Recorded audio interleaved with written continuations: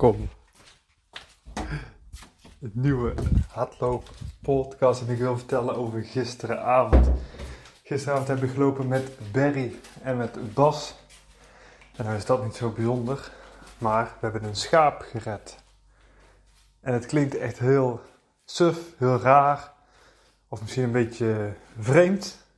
Maar ik vond het super leuk om te doen. En uh, ja, eerder heb ik dat gedaan met een paard, maar dat is wel echt wel jaren geleden. Uh, we waren dus met z'n drieën vertrokken met uh, rennen, wat de vergadering gehad die avond. En we liepen laat weg, het was volgens mij kwart voor negen, dus we hadden nog niet meer heel lang daglicht. Ongeveer een klein uurtje. Maar ja, toch maar gaan rennen, want we hadden al behoorlijk overlegd en we wilden gewoon even gaan rennen. En dat was ook, de, ja, dat was ook het plan. Dus ja, als we een plan maken, dan voeren we het ook uit.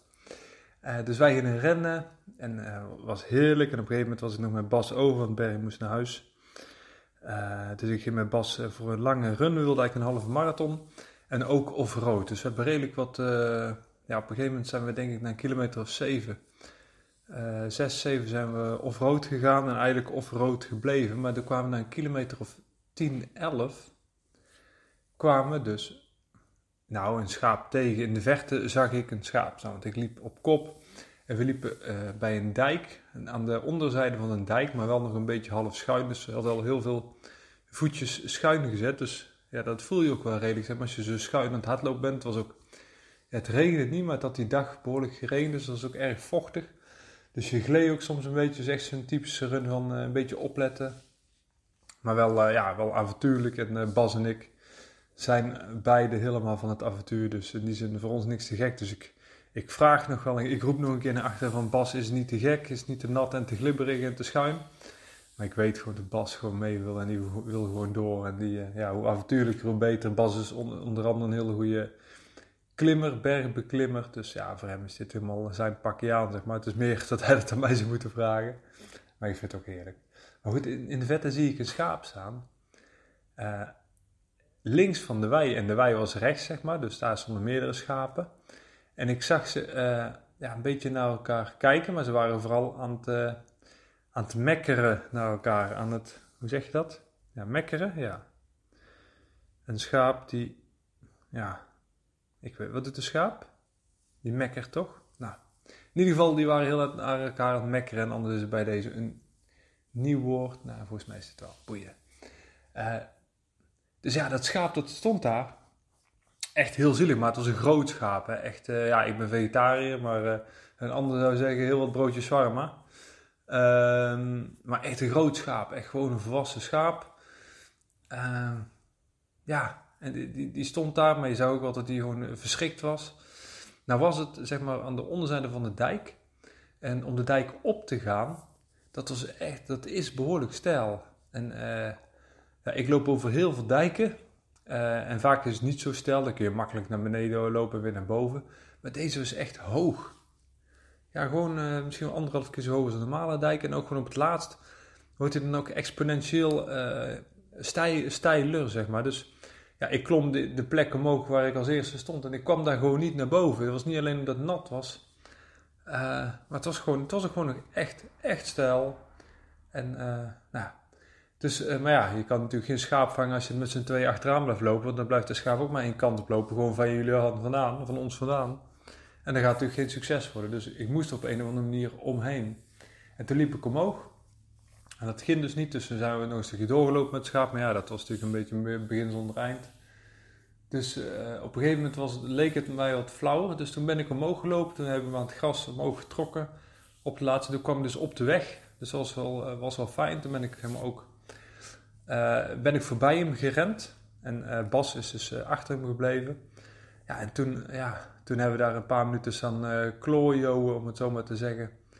En toen hadden we, ja, stonden allebei best wel dicht bij het schaap. En het schaap stond tegen het hek. Dat was een beetje, ja, in benauwdheid. En dan zie je hem echt een beetje van die schuchtere bewegingen maken. maar ja, wat doe je dan? Ik zeg Bas erop af. en ik ook. En op een gegeven moment had ik hem vast. Het was best wel rustig, zeg maar. Dus ik kon hem goed helemaal om zijn, op zijn, om zijn lichaam pakken. Uh, stonk trouwens enorm, de schaap. Uh, ik denk dat ieder schaap stinkt, maar je, staat er vaak niet zo dichtbij. Maar Uh, maar het was echt een heel hom met vlees. Echt gewoon. Het klinkt stom, maar ze dacht ik, ja. Het is gewoon echt een heel. Een volwassen schaap is gewoon echt een groot beest. En ja, ik tilde eraan, maar ik kreeg hem niet eens. Voor mijn idee niet eens. Uh, iets van de grond. Ja, niet eens, maar. Ik kreeg niet eens een poot van de grond gelicht, zeg maar. Het was echt gewoon. Ja, goh. Ik denk dat zo'n schaap wel heel wat meer dan 100 kilo weegt, eigenlijk. Dan denk ja, van hij is niet zo groot als een mens, maar het is zeg maar... Zijn lichaam is echt zo'n grote ovale ballon, helemaal vol vlees. En, en organen, echt gewoon zwaar. Uh, dan ben ik zelf ja, een echte duursporter, dus geen krachtsporter. Dus ik, zit niet in de sportschool of zo, dus ja, ik geloof niet dat ik extreem goed kan tillen. Uh, maar ook met bas erbij, zeg maar, echt geen beweging in te krijgen, zeg maar. En ja, we hadden ook allebei zoiets van, ja, een schaap optillen, maar dan moet je hem ook niet alleen optillen, 10 centimeter van de grond, maar we moeten hem ook echt over een hek heen tillen. Uh, ja, eigenlijk eh, zagen we het allebei eh, helemaal niet zitten. En dat zeiden we ook, van ja, dan, dan tillen we hem daar 10 centimeter op of een halve meter. Maar dan moet hij een meter hoog over een hek. En dan moet je hem ook niet half op een hek laten vallen. Nee, dan moet hij echt er overheen getild worden. Dus dan, dan rijk je van je af. Ja, dan komt er dus een moment op je arm. Ja, ik zag het totaal niet zitten, zeg maar. En Bas ook niet. Dus wat hebben we nu gedaan? Verderop was een uh, hek, want we, ja, we hebben weer losgelaten en toen, ja, toen ging het hele feest een beetje door en wij een beetje nadenken. Maar in de verte zag ik een hek, dus daar ben ik heen gegaan. Maar het hek zat dichtgeknoopt en zat zeg maar zo geknoopt dat je het ook niet open kon knopen. Het was gewoon, ja, er was een mes voor nodig of zo'n schaar. Maar ja, dan kom je eraan. Maar op een gegeven moment uh, ja, waren we nog even aan het vangen en stopte er een auto op die dijk. En die mensen die, die wilden meehelpen, maar ja, die stonden daar, een moeder en een dochter. Maar ja, die hadden de goede kleren aan en wij, waren behoorlijk smerig geworden natuurlijk inmiddels. En uh, ja, zij stonden wel daarboven, maar zij wilden dan het schaap tegenhouden als hij omhoog zou gaan. Maar het schaap kon eigenlijk niet goed omhoog. Maar goed, ik vroeg van, hebben jullie een mes of schaar? Ze hadden toevallig, want ze hadden een, bestelautootje. En ze hadden een mes bij. Dus zij dat mes naar beneden gooien. En uh, toen heb ik het uh, hek opengesneden. Nou goed, lang verhaal kort. Uiteindelijk hadden we het zo gemanoeuvreerd dat het schaap eindelijk, want die anderen waren nog steeds wat mekkeren, dus het was best wel, ja, best wel heibel, zeg maar. Uiteindelijk, ja, schaap ging de weien, dus we waren echt oprecht blij. En uh, ja, het schaap was in die zin gered, maar terug in gevangenschap gebracht. Dus ik weet niet of dat redden, ja, een beetje stom natuurlijk. Normaal is redden als je iemand bevrijdt uit een, uh, uit de benarde positie.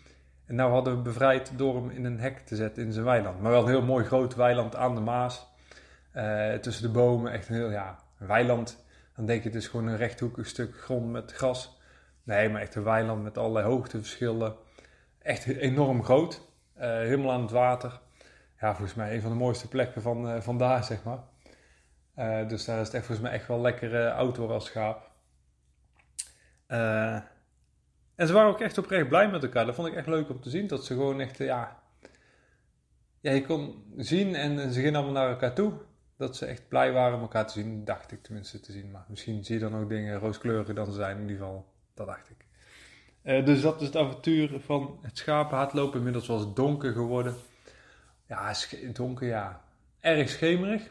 En toen gingen we doorlopen. We bleven onder aan die dijk. Want we waren toch helemaal vies. En dus ja, voeten al de schoenen doorweekt, dus voeten nat. Ja, op een gegeven moment kreeg je het gevoel wel, dan maakt het allemaal niks meer uit. Dus uh, ja, wij zaten natuurlijk helemaal in de avontuurlijke moed. En ik zeg, Bas, gaan we door? Of uh, moet ik afsnijden naar huis? Want hij moest nog een, uh, een drie kwartier naar huis rijden. Dus eerst douchen nog bij mij en daarna naar huis rijden. Maar hij wilde natuurlijk door. Ja, je hebt het in het begin van de podcast gehoord. Bas die gaat altijd door.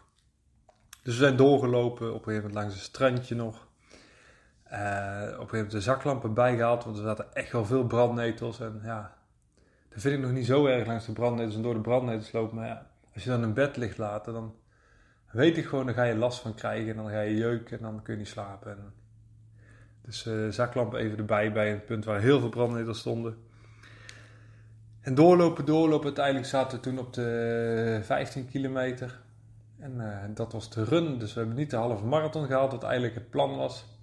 Maar het was wel gewoon een hele mooie avond. Uh, we hebben echt veel gelachen. We hebben toen nog dus een aantal kilometer echt door het donker gelopen, langs het, langs het water. Ja, fantastisch mooi. En, uh, een van mijn mooiste runs van dit jaar. Dat klinkt suf. Uh, want ik heb al drie marathons gelopen, maar deze met Bas die gaat het boek in als, als super mooie loop. En ja, het is niet zo in de podcast dat ik stand iedere loop wil beschrijven die ik heb gedaan. Maar deze vond ik echt de moeite waard. Dus hopelijk heb je ook een mooie loop. Ze zeggen, let goed op bij de weilanden waar je langskomt. Zie je een schaap of een koe of een paard of een, weet ik veel, een, uh, hoe heet ze, een, een alpaca. en je kan hem redden door hem terug op te sluiten, doen. Of misschien wel gewoon laat hem vrij als hij is ontsnapt en hij wil de vrijheid in. Want vrijheid is denk ik wat we zoeken als, uh, als hardlopers. Nee, dat weet ik niet. Maar in ieder geval, uh, ik vind het heerlijk als ik een hele dag gewerkt heb om dan uh, s'avonds gewoon lekker te gaan hardlopen. Dan, ja, is gewoon geweldig. In ieder geval loop ze en tot een volgende hardloop podcast.